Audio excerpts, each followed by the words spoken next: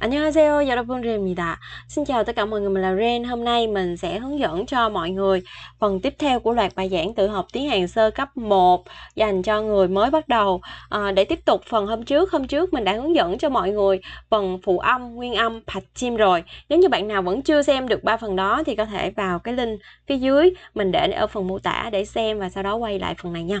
Mình có dự định là up liên tục loạt bài giảng này vào thứ hai, thứ tư, thứ sáu hàng tuần vào khung giờ từ ờ, 7 giờ 7 giờ rưỡi đến ờ, 10 giờ giờ Hàn Quốc ha.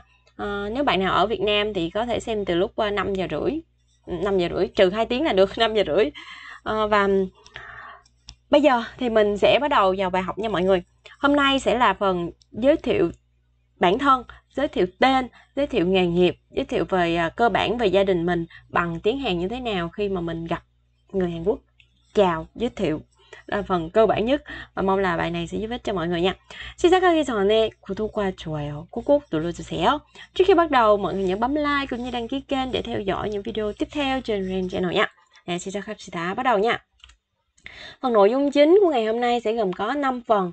Thứ nhất sẽ là có đoạn hội thoại nhỏ, thứ hai là ngữ pháp, thứ ba là mình sẽ giới thiệu với mọi người một số tên nước cơ bản, thứ tư là một số nghề nghiệp thường gặp và cuối cùng sẽ là một phần bài tập nhỏ nhỏ thực hành. Bây giờ mình bắt đầu nha mọi người. Qua phần hội thoại. Phần hội thoại thì mọi người chỉ cần đọc theo mình, nghe, đọc theo để mình quen cái phần nhịp điệu thôi. Còn phân tích thì mình sẽ đi vào cái phần phía sau nha qua phần hội thoại. Hội thoại có hai nhân vật đó là Cheon và Rain. Cheon Cheon là cái tên mình rất là yêu thích ở bên Hàn Quốc á. Lúc mà mình mới qua hàng thì mình biết được cái cô này cô này tên là Lee Ji đó là khẳng sa star. Star khẳng sa tức là uh, giảng viên mà thuộc hàng sao ở Hàn Quốc đó các bạn. Giảng viên uh, thuộc hàng sao tức là giảng viên giảng ở trên uh, cái à, đài giáo dục của Hàn Quốc nhưng mà cô này rất là nói chung là rất là kinh dị luôn á. Nói chung giảng rất là hay à, đẹp, có duyên, giảng hay, có tâm và rất là giàu có nha. Từ một cái nhà giảng viên thôi mà cô này là, nói thiệt các bạn nào mà lên youtube coi cái chương trình của Ichion thì thực sự là bái phục. Mình rất là thần tượng cái giáo viên này nên là nhân vật của mình tên là Chion Chion và Ren Ren là tên của mình nhá. Bắt đầu nha mọi người. Anh nhớ sẽ anh 안녕하세요 안녕하세요 안녕하세요 안녕하세요 안녕하세요 제 이름은 린이에요. 제 이름은 린이에요. 저는 베트남 사람이에요. 저는 베트남 사람이에요. Rồi lưu ý cách. 안녕하세요. 안녕하세요. Câu đầu tiên 안녕하세요. Các bạn nhấn giọng xuống cho mình đầu tiên ha. Ảnh, ảnh. 안녕하세요 ở cuối câu hơi lên giọng một chút thôi ha đừng có vú quá mà du thôi du 안녕하세요 안녕하세요 vì nó là câu hỏi này các bạn 안녕하세요 xin chào bạn có khỏe không á 안녕하세요 nè người ta chào mình lại mình cũng xuống giọng 안녕하세요 안녕하세요 안녕하세요 nè xin chào bạn khỏe không hoặc là xin chào chào bạn thì bạn này cũng nói chào bạn 제 이름은 제 이름은 lưu ý ha bạch chim nè là chữ m nè theo sau nguyên âm tức là theo sau những chữ bắt đầu bằng chữ ng này thì mình sẽ luyến lên trên này ha chữ m luyến lên trên này đọc 이름은 이름은 제 이름은 렌이에요 렌이에요 rồi lưu ý ha bạch chim nè theo sau nó là chữ ng nè thì chữ r n này mình luyến lên đây 니에요 니에요 제 이름은 린이에요. Có nhiều bạn không biết là ngắt nghỉ ở đâu thì các bạn cứ nhìn theo mình là được. Chỗ nào mà có cái khoảng trống này nè thì các bạn nghĩ cho mình. 제 trống nghĩ. 제 이름은 chỗ này nghĩ. 제 이름은 các bạn có thể đọc nối nhanh nếu mà các bạn biết đọc nhanh còn mình chưa có đọc nhanh thì các bạn cứ nghĩ theo đúng như cách mình dạy ha. 제 이름은 린이에요. 린이에요. 저는 đó có cái khoảng trống nè, tách nghĩ đây. 저는 베트남, 베트남, 베트남 nghĩa cái 저는 베트남 xuống giọng nha. 사람이에요. 사람이에요. 사람이에요. Chữ M này gặp nguyên âm là chữ N nè, luyến lên đây luôn. 사람이에요. 사, ra, mi, 에요 á. Nếu mà tách ra đọc chậm thì là chậm. 사람이에요. 사람이에요. 저는 베트남 사람이에요. Rồi bây giờ mình đọc lại luyện đọc với nhau một lần nữa để mình đi qua ngữ pháp nha. 안녕하세요. 안녕하세요. 안녕하세요. 안녕하세요. 제 이름은 레니예요. 제 이름은 레니예요. 저는 베트남 사람이에요. 저는 베트남 사람이에요. 저는 베트남 사람이에요. Luyện đọc từ từ sau đó nhanh lên cũng được nha. Rồi bây giờ mình qua ngữ pháp. Ngữ pháp giới thiệu tên số 1. Mình sẽ có danh từ. Danh từ ở đây có thể chỉ tên người, có thể chỉ nghề nghiệp, có thể chỉ một cái vật gì đó cũng được ha. Danh từ có bà chim, tức là phía dưới nó có bà chim, ví dụ như là à, từ hắc sen chẳng hạn. Danh từ hắc sen, hắc sen trong tiếng Hàn mình có là nghĩa là học sinh á. Nó có bà chim tức là nó có những cái nằm ở dưới này nè. Đó, có phụ âm nằm ở dưới này nè thì mình sẽ cộng với i e u. yếu e, Ngược lại trong trường hợp không có bạch chim, tức là cái danh từ này là nó không có bạch chim không có bạch chim, tức là ví dụ như mình có cái từ là từ khả su. Khả su trong tiếng hàn có nghĩa là ca sĩ khả su khả su khả su. Ca sĩ không có cái phụ âm nằm ở dưới này thì mình sẽ cộng với về du. Ca sĩ cộng với về vô nó có nghĩa là là danh từ. Là danh từ. Là danh từ.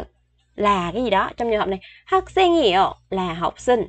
Khả sư hiểu là ca sĩ. Thì trong trường hợp nếu như mình nói tôi là cái gì đó, trong tiếng hàn hai người đang nói chuyện trực tiếp với nhau, tôi mình sẽ bỏ đi ha.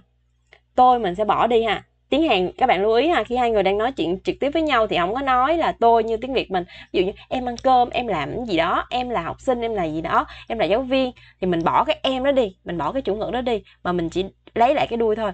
Tức là là giáo viên, là học sinh. Trong trường hợp này hắc xe nghèo 에요 학생이에요 tức là tôi là học sinh bỏ chữ tôi rồi ha 학생이에요 학생이에요 tôi là học sinh 가수예요 가수예요 가수예요 tôi là ca sĩ ok đó là phần này là xong cái ngữ pháp là cái gì đó rồi các bạn có thể bỏ chủ ngữ nha rồi bây giờ để mà nắm được cái ngữ pháp này kỹ hơn thì mình sẽ đi vào ví dụ. Tôi là Ren. Tôi là Ren. Tôi là Ren trong trường hợp này thì mình có chữ tôi nè.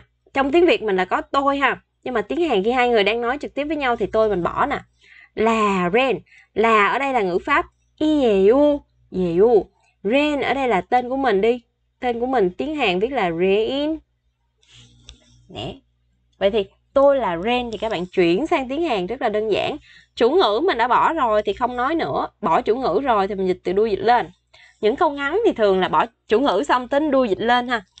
Rain. Rain ở đây tiếng hàn là rain. Có bà chim không mọi người? Có chữ n này nè. Là bà chim nè, có cái phụ âm nằm ở dưới nè. Thì mình sẽ cộng với y e u. Và mình có là rainier rainier rainier tôi là rain. Câu số 2. Tôi là sinh viên. Tôi là sinh viên thế là tôi nè. Tôi ở đây là chủ ngữ, hai người đang nói chuyện trực tiếp với nhau bỏ. Là cái gì đó là ngữ pháp y dè u dè u. Sinh viên. Sinh viên mình có tiếng Hàn là thè. Hắc. Sen. Thè hắc sen. Sinh viên là thè hắc sen. Vậy trong trường hợp này mình cứ chuyển sang câu tiếng Hàn bình thường. Chủ ngữ bỏ rồi thì dịch từ đuôi dịch lên sinh viên thè hắc sáng. Là cái gì đó, có bà chim cộng y e u không bà chim gì ồ nhớ là có thì dài mà không có thì ngắn. Có thì là y e u dài hơn nè. Y e u có bà chim là chữ ngờ nè. Yêu hắc sinh yêu hắc sinh yêu thế hắc sinh yêu thế hắc sinh yêu miễn thế hắc sinh yêu thể hắc sinh yêu thể hắc sinh yêu tôi là sinh viên. Câu số 3 Tôi là nhân viên công ty. Tức là mình đi làm ở công ty thì mình là nhân viên của công ty đó. Tôi, chủ ngữ nè, chủ ngữ bỏ nè, là cái gì đó là ngữ pháp y về vô về vô rồi nè. Nhân viên công ty mình có tiếng Hàn là Huê. Sa, Huê sa là công ty, Huê sa quên Huê sa quên huê sa quên là nhân viên công ty. Vậy trong trường hợp này cứ chuyển sang câu tiếng Việt bình thường thôi. Tôi chủ ngữ bỏ đi, dịch từ đuôi dịch lên. Nhân viên công ty Nhân viên là Huê Sa nè. Rồi, à, công ty là Huê Sa nè. Nhân viên thì thêm chữ quên cho nó vô. Huê Sa quên. Huê Sa quên. Có bà chim là chữ N này nè. Thì sao các bạn? Thì cộng với y, e, u vô đây là xong. Huê Sa quên Luyến âm lên ha 받침 theo sau là nguyên âm thì luyến lên đây 회사원이에요 회사원이에요 회사원 nhân viên công ty 이에요 thì có 받침 회사원이에요 회사원이에요 câu cuối cùng tôi là nội trợ tức là tôi ở nhà tôi chăm con tôi nấu cơm nước thôi tôi không có đi làm tôi là nội trợ tôi ở đây là chủ ngữ bỏ đi là cái gì đó là ngữ pháp của mình rồi nội trợ nội trợ mình có tiếng hàn là chu bu chu bu là nội trợ vậy câu này mình cứ chuyển sang tiếng hàn bình thường tôi bỏ này nè dịch từ đuôi dịch lên nội trợ mình có là chú bú rồi là cái gì đó là gì đó không có bạch chim ở dưới này nó không có phụ âm nằm dưới thì mình sẽ cộng với về vô tôi là nội trợ 주부예요 주부예요 주부예요 là xong 주부 không bạch chim mình cộng 예요 주부예요 vậy thì mình đã xong cái phần giới thiệu mà tôi là cái này tôi là cái kia mình có thể dựa theo cái phần này mình khuyên mọi người nên học với mình á là mình phải liên hệ bản thân ví dụ như ở đây mình nói tôi là Ren mình đang nói về mình ha thì các bạn phải nói được về các bạn. Ví dụ như là bạn tên là Nam tôi là Nam. Ừ, nói sao? Nam nhiều tôi là ví dụ bạn là nhân viên văn phòng bạn là cái gì đó thì bạn có thể nói được thay thay cái những cái thông tin mà mình đang nói về mình nè mình đang nói nè bằng cái, thành cái thông tin của bạn á, thì lúc đó khi mình gặp người Hàn Quốc mình sẽ nhớ là cái câu mình đã tự nói về bản thân mình mình nhớ là mình nói ra được ha. Chứ bây giờ các bạn học cái câu của mình không mà các bạn không có nói thành thành cái câu của các bạn thì mình nghĩ là học cũng như là không học vậy tức là học cũng ta không mà mình khi nói về mình mình không nói được á thì cái đó là thất bại trong học tiếng nước ngoài. Mình học của người ta nhưng mà phải biến nó thành của mình. Tức là nội dung mình đang nói về mình à mình đang nói về brand nè, nhưng mà bạn là ai thì bạn phải nói về bạn bằng cái ngữ pháp này ha. Lưu ý tự nói về mình bằng ngữ pháp này nha. Rồi, mình sẽ có cái ngữ pháp giới thiệu bản thân thứ hai. Tức là bây giờ mình đang nói với cái trường hợp là mình bỏ chủ ngữ đi, mình nói tôi thôi. Nhưng mà bây giờ tôi không muốn nói vậy, tôi muốn có cái chữ tôi vô luôn. Hoặc là tôi có thể nói là tên của tôi là gì đó, nghề nghiệp của tôi là gì đó. Thì lúc đó cái chủ ngữ có chủ ngữ thì mình phải nói như thế nào? Thì nó là cái ngữ pháp giới thiệu tên thứ hai ha.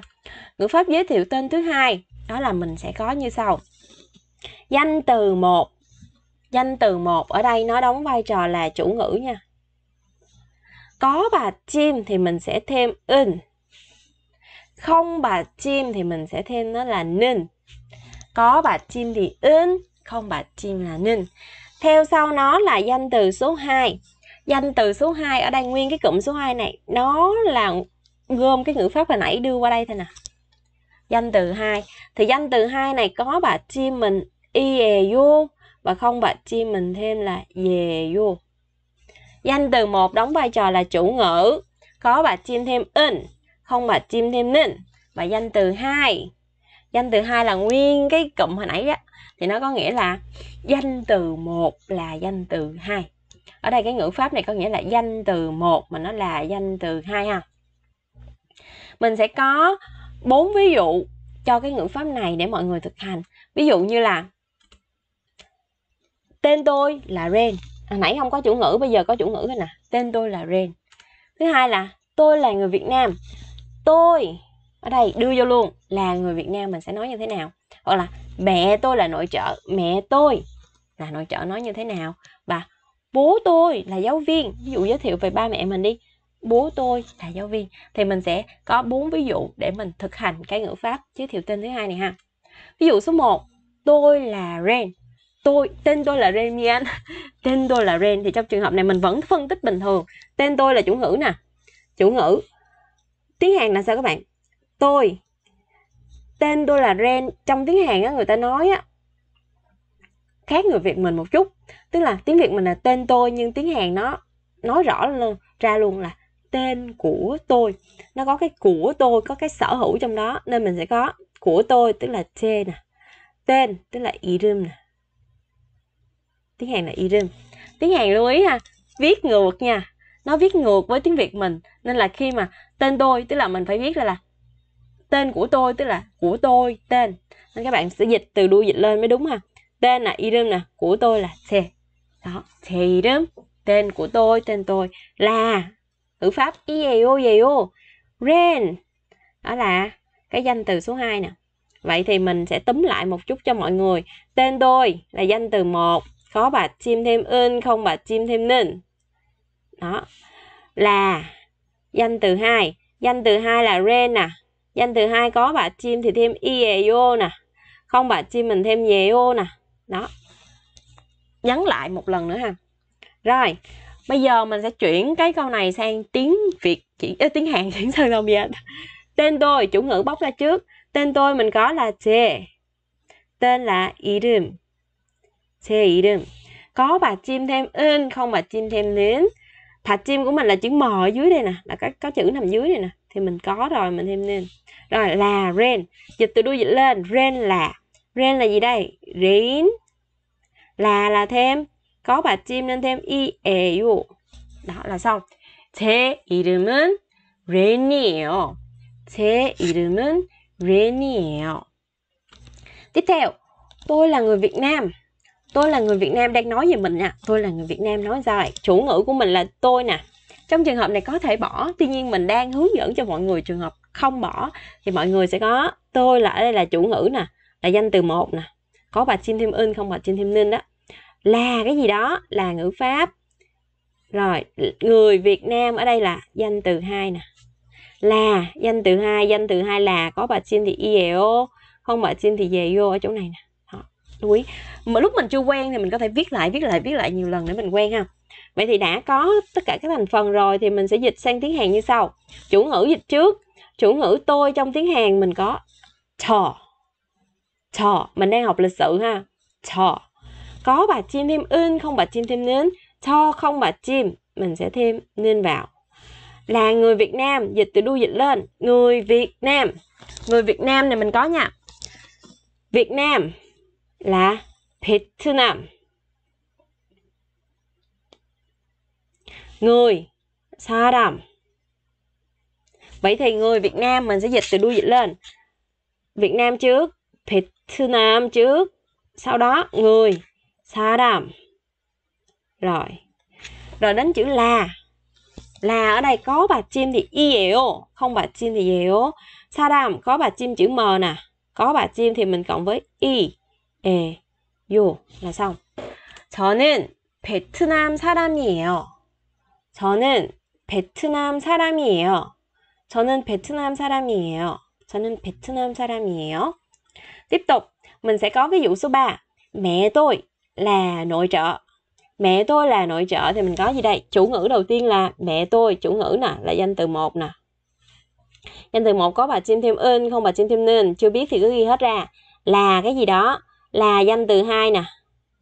Là danh từ hai, nội trợ. Ai quên? Mình quên. Nội trợ tiếng hàn là chủ bù. Mẹ tôi, tức là mẹ của tôi á khi mà sở hữu á, hồi nãy mình có tên tôi sở hữu là chê nhưng mà mẹ tôi thì mình sẽ có là mẹ của chúng tôi ha sở hữu chung ha 우리 chúng tôi mẹ là 엄마 우리 엄마 lưu ý cái chỗ sở hữu này tiếng Hàn mắc cười lắm tại mình mới đang học sơ cấp nên nói sở hữu thì cũng hơi kỳ nhưng mà thật ra uh, phải nói tới cái này tại vì ví dụ như sở hữu trong tiếng Hàn có sở hữu chung và sở hữu riêng sở hữu cá nhân sở hữu của mình không á, thì mình sẽ dùng là te te trong nhà học lịch sử ha mình đang học lịch sử, mình dùng te còn ví dụ như sở hữu chung, ví dụ như là đất nước Việt Nam mình hay nói là nước mình, nước của tôi, nước mình, tức là nước của tôi, nước của tôi á. Nhưng mà người Hàn á, nó là nước của chúng tôi, đất nước của chúng tôi, hoặc là mẹ của tôi. Nó đây là mẹ của tôi nè, nhưng mà mẹ, không phải là mẹ của riêng mình, mà mẹ của em mình, mẹ của anh mình luôn, nên là mẹ của chúng tôi hoặc là ví dụ như trường học thì mình thấy ồ đây là trường của tôi nè, người việt mình ồ này là trường tôi nè. Tức là mình nói là trường mình đã từng học thì mình kêu trường tôi, nhưng người hàn quốc lại nói là, đây là trường của chúng tôi. Người ta phân biệt rõ đó ha. Cái nào là sở hữu chung và cái nào là sở hữu riêng. Tức là cái nào là của riêng mình á, thì mình dùng là che còn cái nào á, mà người ta cũng xài, mình cũng xài á, thì mình dùng là udi ha nên trong trường hợp này mẹ tôi tức là không phải mẹ của mình tôi mà là mẹ của anh tôi mẹ của chị tôi luôn nên là người Hàn Quốc dùng là 우리 mà nghĩa là chúng tôi mẹ của chúng tôi 우리 엄마 ba của chúng tôi 우리 아빠 ví dụ ba là 아빠 đi 우리 아빠 nè thôi hiểu ha hiểu nha phần này hơi dài dòng mẹ tôi là nội trợ thì trong trường hợp này mình có chủ ngữ mẹ tôi trước mẹ tôi là mình lấy ra 우리 엄마 có bà chim hay không mọi người chữ ma này nè mình coi chữ cuối cùng này nè ma không có cái phụ âm nằm ở dưới thì mình thêm nên 우리 엄마는 là nội trợ nội trợ thì mình có là 주부 là là có bà chim thì thêm i예요 không bà chim 예요 không bà chim nên mình cộng với 예요 네. 우리 엄마는 주부예요 우리 엄마는 주부예요. rồi à, 우리 엄마는 주부예요. Tiếp tục, bố tôi là nhân viên công chức, tức là bố hoặc là ba của bạn là làm làm gì cho nhà nước á, ví dụ như là làm trong xã, làm trong ờ, cái gì có liên quan đến nhà nước á thì là công nhân công nhân viên công chức ở Hàn Quốc á, thì có nhân viên công chức rất là nói chung là cái đó là cái nghề ổn định người Hàn Quốc rất thích làm nhân viên công chức bố tôi chủ ngữ trước bố tôi. Giống như trường hợp hồi nãy, bố tôi tức là bố của chúng tôi, mình sẽ dùng sở hữu chung là udi chúng tôi nè. Bố mình có thể dùng appa. Appa. Cái từ này các bạn đọc các bạn nhấn xuống chúng à. Ập ập không phải là appa à, mà là appa appa appa appa là chủ ngữ ha, là danh từ số 1 nè. Rồi, là cái gì đó? Thì mình có i gì ô gì ô nè nhân viên công chức là danh từ số 2 nè. Danh từ số 2 của mình á, nhân viên công chức mình có tiếng Hàn là khủng mu. Khủng muôn à. khủng muôn à. khủng mu có nghĩa là công vụ quên là nhân viên. Nhân viên công vụ tức là nhân viên làm cho nhà nước á. Khủng muôn à. khủng muôn khủng muôn rồi mình dịch nguyên cái câu này sang tiếng Việt là, tiếng Hàn là mình dịch làm sao đây? Chủ ngữ trước, chủ ngữ là bố tôi. Bố tôi là bố của chúng tôi á. Ừ 우리 bố là 아빠 아빠 không có bà chim mình thêm nên 우리 아빠는 rồi dịch từ đuôi dịch lên nhân viên công chức mình có là 공무 공무원 là cái gì đó có bà chim thì thêm i예요 không bà chim thì 예요 ở đây 공무원 có bà chim mình thêm i예요 우리 아빠는 공무원이에요 우리 아빠는 공무원이에요 đó là phần xong cái phần giới thiệu ngữ pháp giới thiệu tên thứ hai rồi đó mọi người. Thông qua hai cái ngữ pháp này thì mọi người phải nhớ là cho mình á là phải giới thiệu được thông qua những cái câu này giới thiệu được về bản thân của bạn về ba mẹ của bạn nha. Đó là xong phần hai ngữ pháp giới thiệu tên. Bây giờ mình sẽ qua một cái phần thêm đó là phần một số đất nước uh, mà mình thường gặp. Thì phần này mọi người chỉ cần xem đọc theo mình và nhớ những đất nước nào mình thích thôi. Phần này mình không bắt buộc phải học hết ha. Vì mình học từ từ thì mình khi mình muốn mở rộng ngữ pháp thì mình có thể học riêng. Và bây giờ mới học mình học hết thì quá nhiều nên là mình chỉ cần nhớ những đất nước mà dễ mà mình biết mà mình thích thôi. Mình có trong đây mình có uh, những đất nước như sau. Đầu tiên mình sẽ đi từ bên phía bên tay trái qua nha. Số 1 Hàn Quốc. Hàn Quốc mình sẽ đọc nha cùng đọc nha các bạn.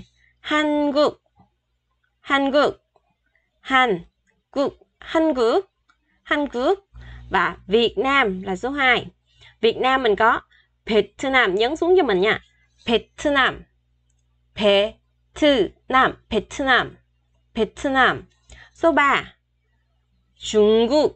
Nhấn xuống nha. Trung Quốc. Trung Quốc, Trung Quốc, Trung Quốc, Trung Quốc. Trung ở đây là Trung á các bạn, Quốc ở đây là quốc á, Trung Quốc. Trung Quốc. Trung Quốc. Rồi, số 4 số 4 là Nhật Bản thì mình có Ilbon. Ilbon Ilbon Ilbon. Cái chữ il này hơi hơi khó đọc á mọi người. Il chim là chữ r. Khi đọc á các bạn đọc in xong các bạn đánh cái lưỡi mình lên trên cho nó thành chữ l. Il il il. In xong rồi đánh lưỡi lên nhanh nha. Il il il il đánh lưỡi lên thì mình sẽ được chữ il ilbon. Ilbon. Nhấn xuống à ilbon. Ilbon. Ilbon. Nhật bản nhật bổn rồi số 5 số 5 mình có nước lào. Rau sư. Ở đây mình có chữ r đứng đầu nè. Cái chữ r này á nó có hai cách phát âm. Cái chữ ria của tiếng hàn á nó đứng đầu á, thì thường là mình sẽ đọc là l. Còn nó nằm cuối á, mình cũng đọc là l và nó nằm ở trung gian tức là nó nằm ở giữa hai cái từ thì mình sẽ đọc là r. Nói chung là có hai cách đọc một là l hay là r. Tuy nhiên là mình sẽ có là l hoặc là r. Hồi nãy mình có ilbon á thì nó là nó nằm ở cuối nè phụ âm cuối. Còn bây giờ mình có là lão sư á thì nó nằm ở chữ đầu nè. Lão sư lão sư lão ô sư lão sư lão sư còn ví dụ chữ r mà trường, nằm trường hợp ở giữa ví dụ như mình có nạ ra nó nó nằm ở giữa một từ vậy nè. Thì mình đọc là r. Nã ra nã ra nã ra rồi, bây giờ mình sẽ tiếp tục nha. Số 5 lão sư. Là sư. Lão sư. Lão sư là lào ha. Số 6 mình có là thái lan. Thê quốc. Lên giọng xíu à. Thê quốc. Thê quốc. Thê quốc. Thê quốc. Số 7 Đài Loan. Đài Loan mình có Thề mạnh Thề Màn Thề số 8 mình có là Campuchia. Campuchia thì mình có là Cambodia, Cambodia, Cambodia, Cambodia, Campuchia. Số 9 số 9 mình sẽ có là Tây Ban Nha.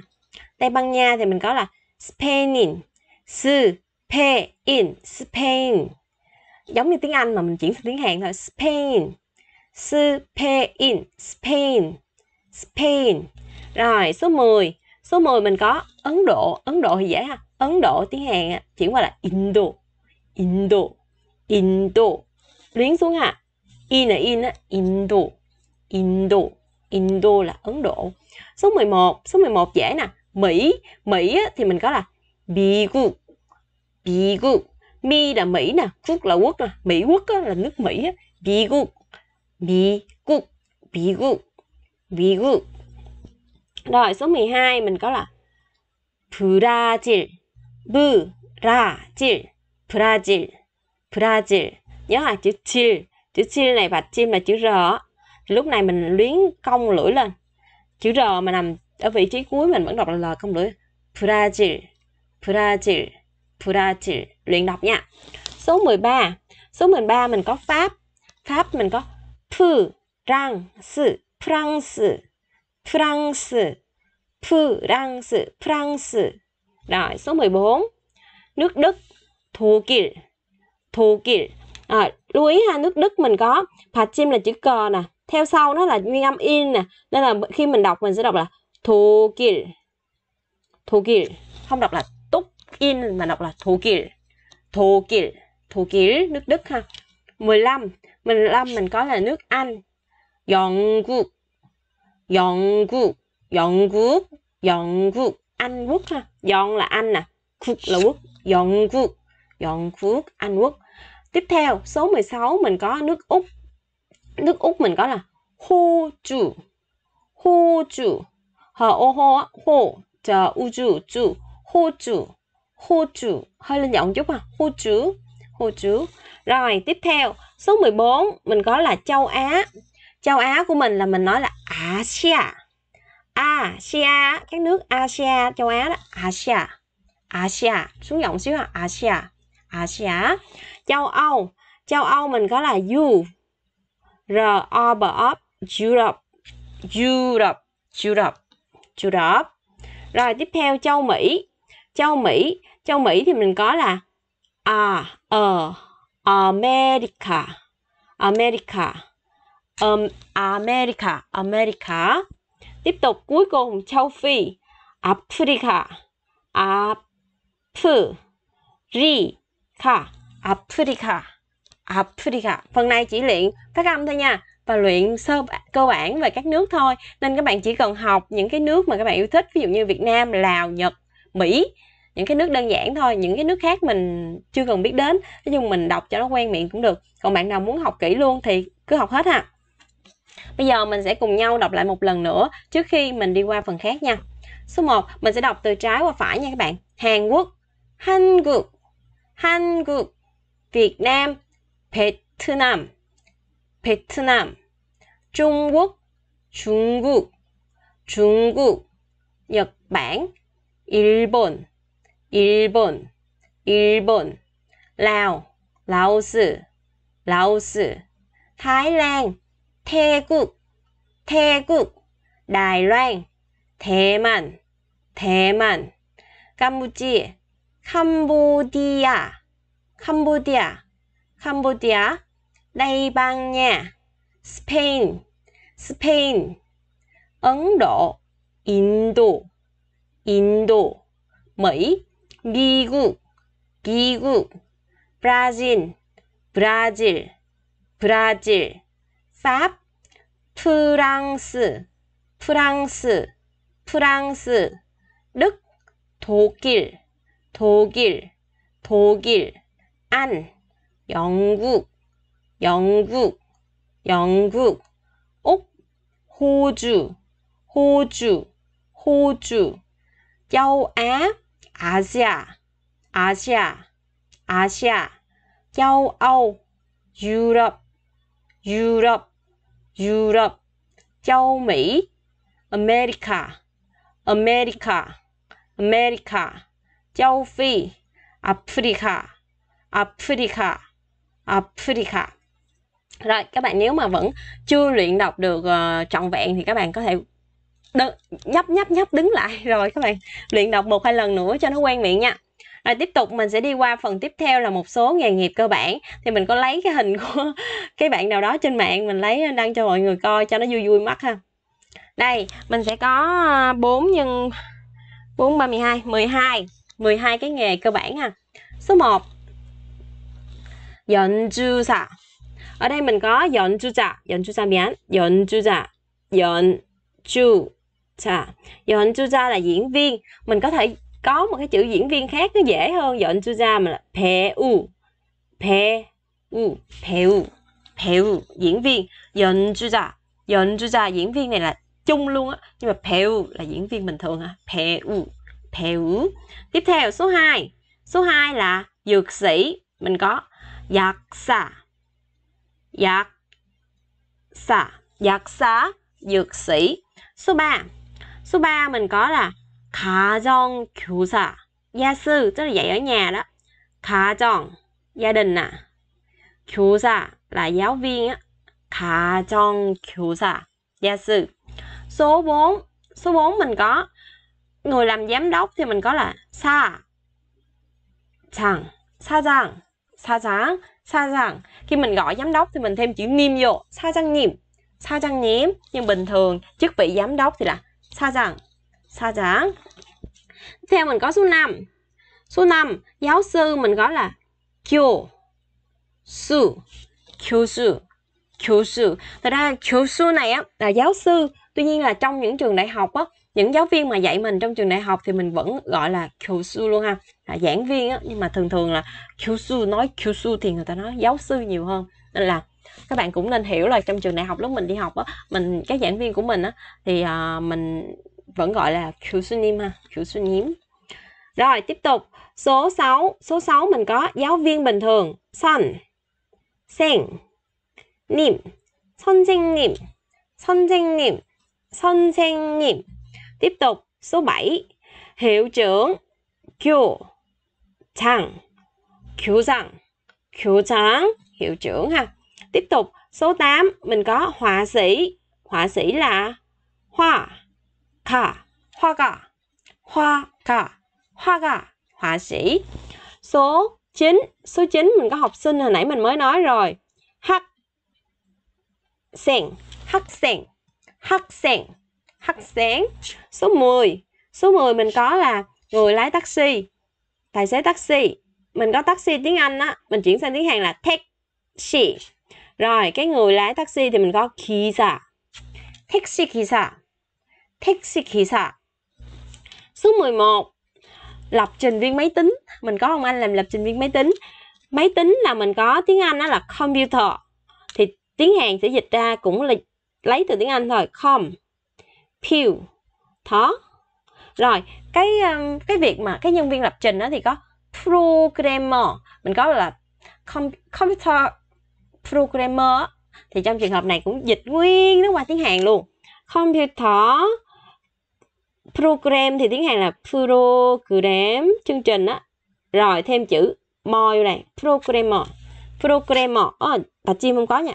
programmer programmer là lập trình viên máy tính số 12 변호사 luật sư 변호 là mình có là mang nghĩa là biện hộ sa là cái người cái người biện hộ tức là luật sư 변호사 변호사 변호사 luật sư vậy mình có uh, ờ, 12 cái nghề cơ bản rồi ha cộng với cái hồi nãy mình mới học hồi nãy sơ sơ nữa thì mình cũng có một mục mới rồi các bạn chỉ lựa ra những cái nghề mà các bạn thấy là thường xuyên các bạn gặp nhất và các bạn quan tâm thôi còn các bạn không cần phải học hết nha mình đọc cho biết ha rồi bây giờ mình sẽ cùng nhau đọc lại một lần nữa ha từ số 1 cho tới số 12 nha diễn viên 배우 배우 연주자 연주자 육sĩ 약사 약사 약사.